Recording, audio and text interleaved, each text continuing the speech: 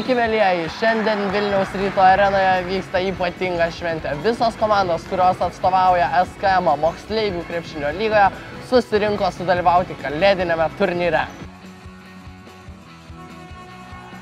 Taigi SKM suteikia žaidėjams galimybės ne tik žaisti, ne tik pasirodyti viešoje erdvėje, bet ir išbandyti naujas profesijas. Šiandien pirmą kartą teisėjo profesiją atlieka Lukas Pivoriūnas. Kokios nu- nuotaikos, ko, kokie lūkesčiai? Galiu pasakyti, kad per ilgai intro darome, tai kitą kartą dabar į techninis spėjimas, kitą kartą bus techninė. O tai viskas gerai, dabar reikia suvaldyti ramai emocingus žaidėjus, tai reiks dirbti. Na, linkime sėkmės pirmam kartui teisėjai, pažiūrėkite, koks gražus teisėjas laikas skelbia.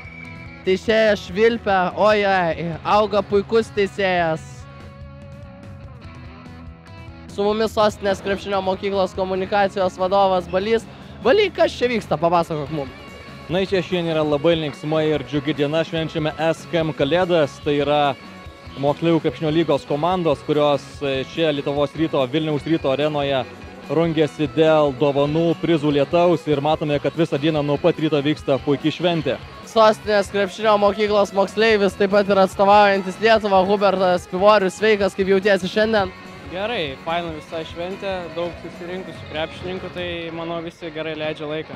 O kuo yra svarbi va tokia šventė, kur tiesiog draugiškai gali stipriausios komandos pasižaisti vienas, e, viena prieš kitą? Kuo tai svarbu? Nežinau, gal e, susidraugauja komandos nariai labiau viens su kitu. Aišku, čia viskas taip jokais labiau, bet e, smagia šventės, manau, visiems. Mums rūpi ne tik vaikų, ne tik mūsų žmonių iš ofiso nuomonė, bet ir taip pat pačių svarbiausių žmonių, tevelių. Taigi turime mamytą Laurą. Laura, kaip jums ši šventė? Man patinka šita šventė, todėl kad jinai yra jau tradicinė. Ir aš pamenu, kai mes su mažais vaikais ateidavom.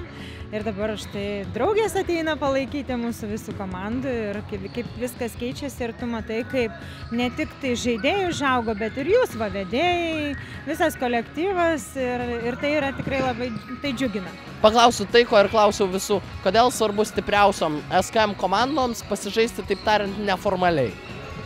Todėl, kad jie iš pradžių galvoja, kad tai tik žaidimas, o paskui jie pamato, kad vis tiek reikia laimėti ir noras laimėti vėl susitelkti, prisitaikyti prie naujų taisyklių jiems yra svarbu. Džiaugsmas yra,